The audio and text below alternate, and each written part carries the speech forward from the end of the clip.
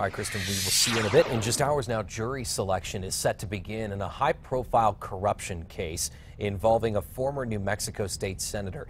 News 13's Sarah Yingling joins us now with what we can expect. Sarah?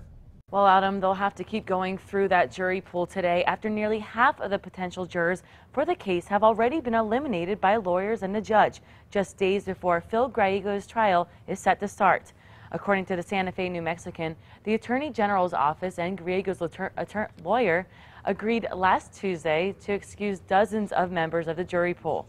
Those reasons include health issues, travel plans or complications with work, family duties, and the expressions of harsh feelings towards politicians. Griego is accused of abusing his power by pushing the sale of a state-owned building in Santa Fe so he could pocket $50,000. AG Hector Balderas is pursuing charges of fraud, bribery, and ethical misconduct against Griego. The former senator resigned from legislature in 2015 at the conclusion of a Senate Ethics Commission investigation.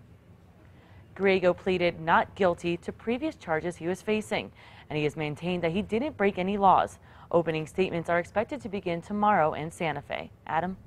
All right, Sarah, thank you. Many thought both sides might actually reach a plea deal before this case went to trial, but court documents show negotiations for the plea fell apart earlier this year. We're going to be following the trial as it unfolds on air and, of course, on our website, krqe.com.